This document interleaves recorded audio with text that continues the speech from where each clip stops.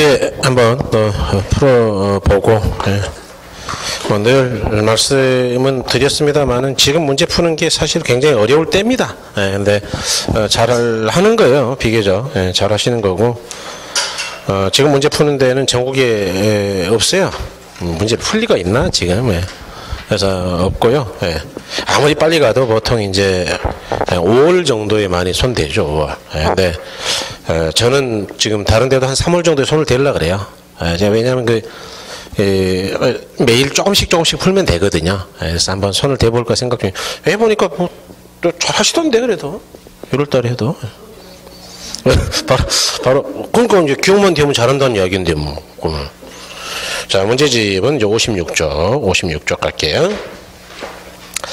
어, 자, 저당 이동화 증권 그랬는데, 자, 1번 보니까, 아, 다음 저당 시장 구조에 대한 기술이 다 옳지 아니한 거 그랬죠. 그래서, 에, 동그라미 1번에, 자, 1차 저당 시장은 저당 대부를 원하는 수요자와 저당 대부를 정하는 금융기관으로 이루어지는 시장이다. 좋아요. 음, 동그라미 2번. 2차 저당 시장은 저당 대출 기관과 다른 기관 투자자들 사이에서 저당을 사고 파는 시장이다 그랬죠. 그래서 뭐 옳은 이야기죠. 3번에 이제 1차 대출 기관들은 2차 저당 시장에서 그들이 설정한 저당을 팔고 필요한 현찰을 조달한다. 그렇죠. 4번 1차 저당 대출자들은 자금의 여유가 있더라도 저당을 자신들의 자산 포트폴리오 일부로 보유해서는 안 되는 게 아니고 보유할 수 있다 그랬죠. 에, 돈 없을 때만 유동하죠. 음, 4번이 틀렸고요. 5번 2차 저당 시장은 저당 대부를 받은 원저당 차입자와는 아무런 직접 관계가 없다 그랬죠. 그래서 뭐 이런 게 시험에 나오는 거니까요. 할만하죠. 자, 동그라미 2번. 2번 큰 2번. 자, 2차 대당 시장 및 관련 상품에 대한 설명도 틀린 걸 했는데, 예, 동그라미 1번에 선진국의 경우 2차 재당 시장의 발달은 대출기관 이용자 여력을 높여주어, 높여서 주택금융을 활성화하는 데 크게 기여했다. 그렇죠. 예, 돈 대, 대출하기 쉬워진다 그랬고요. 에, 동그라미 2번에 2차 재당 시장이 활성화되기 위해서는 주택 대출 상품과 대출 심사 기준을 표준화하는 것이 필요하다. 좋아요. 3번 주택 저당 대출 채권의 집합으로부터 유가 증권을 발행할 때 대출 채권의 상환 기간보다 단기 원금과 이자의 지급이 완료되는 채권을 만들 수가 있다. 여기 이제 CMO라는 건데 이거 안 배웠어야지. 그러니까 이건 놔두시고요. 예, 옳은 이야기입니다. 예. 4번에 선진국에서는 일반적으로 2차 저당시에 발행되는 투자 상품은 주택 대출 금리보다 더 높은 액면 금리를 갖는다. 요건 아까 했는데 저당 이자가 7%이다. 그럴 때 MBS 수익은 7%보다 높다 그랬어요? 낮다 그랬어요? 그 반대예요. 이해하신 거죠? 그러니까 표현만 조금 바뀐 거지 아까 공부한 거예요 지금. 저당 이자하고 저당 수익률. 예. 그래서 요거는 틀렸다. 예. 5번 우리나라 경 한국 저당채권 유동화 주식회사가 설립되어 어, 저당의 유동화를 담당하고 있다. 이 당시는 이제 얘가 설립돼 있을 때죠. 어, 지금은 요건 옳은 이야기예요. 그러니까 지금은 이제 뭐가 설립돼 있어요? HF 한국 에, 주택금융공사. 그래서 이제 그 밑에다가 하나 써놓으세요. 한국 어, 주택 금융 공사 뭐 이렇게 하나 써놓으시면 됩니다. 그래서 어, 이렇게 보시고요. 에, 4번이 틀렸고 자 3번 문제 아, 부동산 시장 활성화 방안으로 저당 유동화를 들 수가 아, 있다 그랬죠. 에, 다음 설명 중 가장 타당한 거랬는데 동그라미 1번에 민간 주택자금의 장기 안정적 확보를 위해서는 시장의 실세 금리를 적용하고 대출자의 소득 수준, 주택규모 대출 금액, 대출 기간, 최초 주택 구입 여부 등에 관계 없이 대출 금리를 동일하게 적용해야 할 것이다 그랬는데 이렇게 관계가 없어야 될까요? 뭐 어, 위험에 따라서 달라져야 되는 관계가 있어야 될까요? 있어야 되겠죠. 뭐 구별이 없이 하면 안 되겠죠. 그래서 말이 안 돼요. 어, 그래서 대출자의 소득이나 주택 규모, 대출 금액, 대출 기간, 뭐 최초 주택 구입 여부냐 아니냐, 생애 최초냐 아니냐 이런 걸 따져야 된다 이야기. 예. 이번에 자 부동산 저당 채권, 어, 저당담보 채권 유동화는 1차, 2차 저당 시장에서 이루어진다 그랬는데 아까 유동화는 주로 어디서 이루어졌어요? 주로 2차. 그렇죠. 그래서 어, 주로 2차입니다. 다음에 3번은 2차 저당 시장은 1차 저당 시장이 일단 이루어진 저당을 1차 저당 대출자가 팔게 되는 시장을 말하므로 일반 투자자들은 자신에게 필요한 저당을 사고 팔 수가 있다. 그래서 옳은 이야기죠. 투자자가 이제 2차에서 이제 사고 파는 거예요. 네. 그래서 에, 옳은 이야기. 4번 저당 유한의 대출된 금융기관이 많은 재원으로 일부 수요자나 공급자에게 자금을 제공하여 부동산 시장에 활성화 기한다 그랬는데 많은 재원으로 하는 게 아니고 어, 적은 재원으로 무한히 대출할 수 있다 이렇게 거꾸로 가야 돼요. 그래서 어, 틀렸습니다. 네. 5번에 조금 어렵네 이 문제는요. 음. 5번에 아, 2차 저당 시장은 주로 부동산을 담보로 저당 대출을 원하는 수요자들과 용자를 제공하는 금융권으로 이루어진 시장을 말한다 그랬는데 요거는 2차가 아니고 1차 그래서 틀렸죠. 어, 4번에 자 부동산 금융과 관련된 설명 중 틀린 것 그랬는데 MBB의 투자자는 최초 주택담보 채권 집합물에 대한 소유권을 갖지 않는다. 그래서 아직은 어렵겠지만 발발 그랬으니까 투자자는 가진 게 아무것도 없어요. 예. 어, 이번에 한국주택공공사는 보유하고 있는 주택저당 채권 집합물을 기초로 어, 주택저당 증권을 발행하고 있지요. 아까 MBS, MBP는 공사가 발행한다 그랬죠? 예, 학자금 대출 증권 SLBS는 한국 장학재단이니까 이제 없어진 거고. 예. 어, 그다음에 3번에 MPTS란 지분형 주택재당 증권으로 관련 위험이 모두 다 투자자에게 이전된다. 왜? 투자자가 싹 다 가지고 있으니까 투투. 예. 그 다음에 4번에 영모기지론은 한국은행에서 채권 형태로 발행한다 그랬는데 이거 아직 공부 안 했습니다. 영모기지론이 뭐냐 하면은 이제 흔히 우리가 말하는 그 주택 연금 같은 거예요. 아, 주택 연금이 영모기지의 일종이야 이게. 그 밑에다 써놓으세요. 주택연금이라고. 아, 주택연금.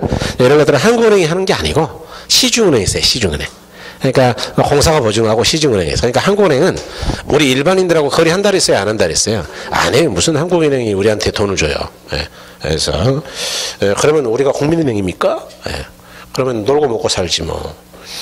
에, 이번에 CMO의 발행자는 주택 저당 채권의 집합물의 소유권을 에, 갖는다 그랬는데 아까 발투 그랬으니까 저발이죠 저발 에, 저당권의 소유권은 발행자가 갖는다 예. 그러니까 외우면 은 나중에 돼 이런 거냐 그러니까 아직은 좀 어렵겠죠. 네, 4번이 틀렸고요. 아, 아직은 어렵습니다. 그죠? 어, 그 다음에, 자, 부동산 증권에 대한 설명으로 틀린 걸 했는데, 동그라미 1번에 우리나라 자산유동화 증권 제도는 자산 유동화에 관한 법률에 의해서 어, 도입되었다. 이 ABS라는 건데요. 맞습니다. 아, 이게 자산 유동화에 관한 법률로 1999년에 도입됐거든요. 이게. 그래서 맞는 이야기고. 어, 이번에 아까 제가 잠깐 뭐 그 이야기 했는데 IMF 때문에 우리는 ABS가 먼저 도입됐고 MBS가 나중에 도입됐다 그랬는데 그 이야기 됐죠. 이번에 저당대출 자동이체 채권 그래서 이제 그냥 다 읽지 말고 M, P, T, B 이렇게 읽으면 된다 그 이야기 제 이야기는. 예, 한글로 번역한 건 또 한 세 가지 네 가지가 있어가지고 어려워요. 그러니까 영어로 예, MPTB 요거는 하나의 저당 집합에서 만기와 이자를 다양하게 발행한 여러 종류의 채권을 말한다 그랬는데 이건 MPTB가 아니고요. CMO예요. 이게. CMO. 아직 안 배웠거든요. 여기까지는. 예, 그러니까 답은 요게 이제 틀렸는데 예, 모르겠고 아직은 모르죠. 예. 그 다음에 3번은 거란에 뭐라고 돼 있죠? MPTS죠. 하고 어, 그다음에 주택적 담보 채권 MBB죠. 어, 요거를 혼합한 성격의 주택 저당 증권이다 그랬는데 다시 어, 저당 대출 자동 이체 채권은 어 맞네. 그 앞에 있는 저당 대출 자동 이체 채권이 MPT B거든요, 요거. 한글 번역을 이제 그렇게 하는 거예요. 저당 지불 채권 또는 저당 이체 자동 이체. 예, 뭐 저당 지불 자동 이체 채권 이렇게. 그래서 지불금만 자동으로 이체한다 그 얘기인데 요거는 MPTS하고 이체증권하고 MBB 저당 채권을 섞은 혼합형이다 그 이야기예요 지금. 그러니까 뭐 옳은 이야기인데. 예. 예, 그다음에 4번에 그 우리가 이름도 아직 좀 어렵죠. 아, 주택 저당 채권 담보부 채권은 저당 채권의 집합에 대한 채권적 어, 성격의 주택저당 증권이다. MBB는 채권형이라 그랬죠, 아까? 예, MPTS가 지분형이고, 예, 그래서 옳은 이야기고. 5번 다계층 저당 증권 CMO죠. 어, 이건 발행자는 저당 채권의 풀에 대한 소유권을 갖고, 에, 동풀에 대해 채권을 발행하는 것이다. 그래서 옳죠. 왜냐하면은 발투 그랬는데 저발 그랬으니까 저당 풀에 대한 저당권의 소유권을 누가 가지고 있다고? 발행자. 그 이야기거든요, 지금. 그래서 예, 옳은 이야기다. 에, 예, 그다음에 이제 제 4절에 어, 제4절에 자금 동원 방법 그랬는데 어, 뭐 1번은 아직 여러분 설명 안 했어요. 그래서 어, 부채금융 그랬는데 이제 부채금융은 에, 거기 니은번에 ABS하고 그 다음에 디귿번에 주택상환사채 같은 것들이 이제 주로 에, 부채 쪽이네요. 그래서 주택상환사채는 공법에서 들어봤을 텐데 도정법에서 나올 텐데요. 주, 주택 상 주택으로 나중에 돌려준다는 채권인데 주택 상환사채 공법에서 공부하는 거예요. 이건 결혼에서 공부하는 게 아니고 어, 그러니까 이제 공부 공부하시니까 결혼에서 낼 수 있는 거예요. 이런 거. 그래서 좀 들어놓으셔야 돼요. 아직은 초기를 안 들었을 수도 있는데 예, 나중에 들어놓으시면 편해. 요건 아직 설명 안 했습니다. 1번은. 음. 어, 2번. 자, 부동산 금융 자금 조달 방법 중 하나인 지분금융 관련이 없는 거랬는데, 에, 요거는 답이 3번인데요. 요것도 뭐 아직 설명 안 했죠. 일단 놔두시고. 근데 그건 알겠는데 보니까. 공모. 공모는 주주를 공개 모집하는 거니까 이게 부채예요, 지분이에요. 그러니까 신디케이트는 지분 투자자 조합이에요. 신디케이트. 나중에 설명할 거고요. 그 다음에 4번에 리츠는 아까 주주들이라 그랬죠? 그 지분이에요. 그 다음에 간접 투자 펀드라는데 펀드라는 것도 내 돈 투자하는 사람이잖아요. 그거 다 지분이에요, 이거. 1번도 그렇게 설명할까요? 미음번의 신디케이트는 제가 지분 투자자 조합이라 그랬죠? 그 다음에 리을번의 공모, 공모. 주주 모집하는 거죠? 지분. 그 다음에 기업번의 조인트 벤처는 이것도 회사들 간의 연합이에요. 회사들. 그러니까 지분 투자자다. 투자자들. 에, 그래서 에, 1번은 미음 디귿. 에, 즉 답이 3번이고 2번은 에, MBS, MBB 3번이 이 부채죠. 지분이 아니죠. 어, 그다음에 3번에 자 부동산 투자 회사법상 부동산 투자 회사 관련 설명 중 틀린 거 냈는데 어, 1번에 자 부동산 투자 회사 중 유동성을 선호하는 사람은 부동산 직접 투자보다는 증권 거래 성장돼 있는 부동산 투자 회사에 대한 어, 투자를 선호할 수가 있겠다. 그렇죠. 우리 쪽은 주식이니까 유동성이 굉장히 높겠죠. 한 주에 5천 원이니까 잘 팔리겠죠. 예. 그 다음에 이번에 자 부동산 투자 회사에 투자하는 경우 투자 원금 손실이 발생할 수도 있다. 그렇죠. 요거는 주주니까 어, 당연히 원금 손실이 있을 수 있어요. 어, 주가가 영면가보다 낮아질 수 있습니다. 예, 투자 잘못하면. 어, 그다음에 3번에 영원인가 받는 날로부터 6개월이 지난 자기관리 부동산 투자 자본금은 70억 이상이 되어야 한다. 그렇죠? 예, 아까 설립시에는 5억이었고, 예. 예, 그 다음에 4번, 자, 부동산 투자회사는 영업인가 전에는 시험을 출자받는 방식으로 신주를 발행할 수가 없다. 이렇게 나온다니까, 시험에. 그러니까 뒤집어서 나와요. 예. 5번에, 그러니까 부동산 투자회사는, 아, 부동산 투자 회사의 부동산을 개발 관리 처분하는 업무를 예, 담당한다. 아, 투자 자문회사는 담당한다 그랬는데, 이걸 담당하는 건 자문회사가 아니고 자산 관리회사야. 뭐라고요? 자산 관리 회사. 예, 자산 관리 회사는 꽤 큽니다.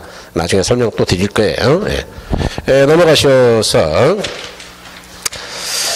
어, 4번에 자, 부동산 투자 회사 제도를 도입한 정책 목표에 대한 설명으로 틀린 걸 했는데 어, 동그라미 1번에 자, 우리 국민의 부동산 투자 기회 확대 좋아요.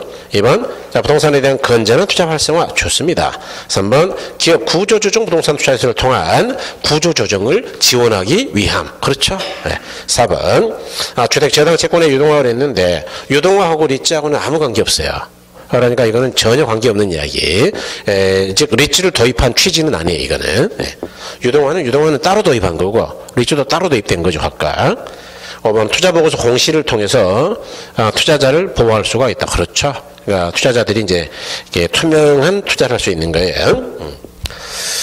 그 다음에 5번에 자, 우리나라 부동산 투자에서에 관한 설명으로 틀린 것 그랬는데 에, 거기 보니까 어, 영업인가 반날로서 6개월이 지난 자기관리 부동산 투자회사의 에, 최저 자본금은 70억 이상이 되어야 한다. 좋죠? 2번. 음. 자, 부동산 투자회사는 주식회사를 하고 그 상호의 부동산 투자회사는 명칭을 무조건 반드시 써야 됩니다. 이거는. 그래서 2번 옳은 이야기고요. 그 다음에 이제 아까 주식회사라는 건 이야기 드렸고. 3번. 영업인가 받은 날 6개월이 지난 위탁관리 부동산 투자회사 및 기업 구조조정 부동산 투자회사 최저 자본금은 각각 50억 이상이 돼야 한다. 그래서 3억에 50억. 예? 설립비 3억, 어, 인가 후 50억. 예. 그 다음에 4번. 기업 구조 조정 부동산 투자 회사는 자산 운용 전문력을 포함한 임직원을 상근으로 두고 자산의 투자 운용을 직접 수행한다 그랬는데 위탁 관리나 기업 구조 조정 둘 다 명목회사예요. 그러니까 직원이 없어요, 여기는. 그래서 기업 구조 조정은 더더욱 직원이 없습니다, 이거. 네, 그래서 4번 틀렸고요. 어, 요거는 이제 자기 관리에 대한 설명이죠, 사실은. 예, 자기 관리. 5번 이제 부동산 투자 회사는 부동산 투자 회사법에서 특별히 정한 경우를 제외하고는 나머지는 상법에 적용을 받는다. 아까 그래서 제가 상법의 일부를 설명한 거예요. 예, 그래서 에, 옳은 이야기고 그 다음에 나머지가 이제 여러분 뭐 공부 안 한 것들이 좀 꽤 있는데 PF 같은 거 안 했단 말이죠. 그래서 어 요거는 나중에 뭐 나중에 또 풀 기회가 있을 것 같은데.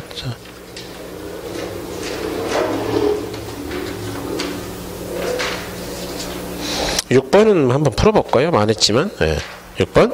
자, 부동산 금융에 대한 설명 틀린 거 있는데, 자, 부동산 금융은 부동산의 개발, 취득 등의 목적으로 어, 화폐 신용을 이전하기 위해 사용되는 제도, 시장, 수단과 관계되는 영역을 말한다. 그렇죠. 그러니까 아, 주로 부동산을 개발하거나 취득, 사기 위해서 빌리는 게 부동산 금융이죠. 예. 뭐 용어만 보면 알 수 있고 이번에 부동산 금융은 부동산을 운용 대상으로 하여 자본을 조달하는 일련의 과정이다. 그러겠죠. 예. 3번에 부동산 금융에는 담보기는 감가상각비 차익금 이자에 대한 세금 감면 혜택이 있다 그랬는데 일단 부동산은 담보력이 없어 있어요. 있죠. 그다음에 감가상각이라든가 이자 같은 것들은 세금 감면이 돼요. 어, 아직 여러분 공부 안 했는데 이건 투자 이론에서 공부할 거예요. 투자 이론. 영업소득세를 나중에 공부하면 알게 돼. 예, 그는 이제 아직은 거기까지는 안 갔죠. 예. 어쨌든 아니 뭐 빤한 거 아니에요? 여러분 비용을 우리가 사업하는데 비용을 썼다. 그럼 그만큼 세금을 내는 거예요. 절세가 되는 거예요. 그러니까 차익금 이자도 나중에 세금을 줄이는데 기여한다고요. 그래서 뭐 나중에 영업소득세를 공부하면 금방 알아요. 뭐 순대 이감 세대 원감 이렇게 외우면 아 이자라는 게 공제 되는구나라는 걸 알게 되니까. 그래서 그건 나중에 조금 더 공부가 됐을 때. 네, 부동산 프로젝트 금융에서 네, 부동산을 담보로 제공받고 소구 금융이 일반적이다 그랬는데 이건 아주 공부하면 나중에 쉬운데 PF는 비소구 금융이에요. 비소구. 소구가 아니고 뭐라고? 비소구. 그래서 어, 틀렸어요. 아직 설명 안 했어요. 이 부분은. 네, 그래서 일단 틀렸다는 것만 알고 계시면 됩니다. 어, 5번에 부동산 거래 활성화를 통해 부동산 개발 및 건설 활동을 촉진시키는 기능이 있다 그랬는데 옳은 이야기죠. 그래서 금융을 통해서 이제 거래를 촉진하죠. 어, 여러분 소구냐 비소구냐라는 거는 이런 건데 예, 이것도 이제 금융 용어죠. 소구금융은 뭐냐 하면 요거예요. 소송을 통해서 돈 달라고 청구할 수 있는 걸 소구금융이라고 그러고 비소구 그러면 소송을 통해서도 돈 달라고 청구할 수 있다고요? 없다고요? 없다. 왜 그러냐? PF 같은 경우는 담보가 없어요. 담보가. 아주 독특한 대출이 이게. 담보가 없으니까 아니 뭐 이놈이 돈 안 갚으면은 소송해 가지고 경매로 담보를 넘겨 가지고 돈 받을 수 있다고요. 돈 달라 그럴 수 있다고요. 없다고요? 없다. 그래서 비소구 금융이다 이렇게 이야기하는 거예요. 이해하셨나요? 예, 그래서 이렇게 그래서 뭐 그러면은 돈 떼먹어도 된단 말이냐? 아, 그건 아니에요. 음, 나중에 공부해 보면 알아요. 뭐 은행이 돈 떼먹힐 리가 있나요? 예, 그래서 예, 그럼 나중에 이제 PF를 3, 4월 과정에 송부하기로 하자. 예, 그다음에 여러분 그 7번은 요거는 아직 안 되니까 하지 말자고요. 8번. 8번도 안 돼, 이거 아직. 에, 9번. 어, 일반 기업 대출과 부동산 금융에 관한 일반적 설명으로 틀린 것. 요거는 뭐 책에서 설명하는 게 아니고 상식입니다, 사실은. 그래서 한번 풀어보자고요. 어, 일반적인 거라면서요. 어, 동그라미 1번 부동산 개발 신탁 금융의 자금은 위탁자가 관리한다 그랬는데 이게 빤한 이야기인데 우리가 개발 신탁은 했는데 어, 위탁자는 땅 주인이고 위탁자가 자기가 개발하는 거예요. 신탁회사에 맡기는 거예요. 수탁자가 관리하는 수탁자가. 신탁자가 아니고 그러니까 에, 틀렸고 예. 그 다음에 이번에 자, 일반 기업 대출의 자금은 차입자 관리하고 자, 부동산 프로젝트 금융의 자금은 어, 위탁계좌에 의해 관리된다 그랬는데 PF 안 배웠죠. 예, 이 에스크로 계정이라 그래서 위탁 계정에다가 맡겨놓고 공사업자한테 공사비가 필요할 때만 주는 겁니다. 돈 못 대먹게 하려고. 그래서 이건 옳은 이야기예요. 다음에 3번에 부동산 개발 신탁 금융의 차입자는 신탁회사이다. 그렇죠. 우리가 신탁회사한테 우리가 땅을 넘겨버리면 걔가 이제 돈 빌린다 그랬잖아요. 그래서 공사하고. 그러니까 에, 그런 이야기고 4번은 일반 기업 대출의 차입자는 일반 기업이고 자, 부동산 프로젝트 금융의 차입자는 특수목적 법인이다 그랬는데 야, PF는 아직 안 배웠으니까 맞는 이야기예요. 5번에 에, 부동산 프로젝트 금융은 비소구 또는 제한적 소금융 방식이다 그래서 방금 설명했죠. 그 한자 보니까 소송을 통해서 구할 수가 없다. 예? 예? 예? 돈을 달라고 청구할 수 없다. 그런 이야기예요. 예, 그래서 이제 보셨고, 여러분 10번, 11번은 아직 안 했어요. 그러니까 그건 나중에 하자고요. 그래서, 에, 뭐 됐고, 이렇게 해서 이제 여러분 금융까지는 보셨고요. 지금 남아 있는 게 이제 감정평가 쪽이 남아 있잖아요. 예, 그래서 감정평가 쪽은, 에, 또, 어, 가장 어려운 게 평가인데, 일단 설명을 좀 드리고, 뭐, 그러고 나서 문제를 보는 걸로 하겠습니다. 예. 영상 좀 잘라주세요.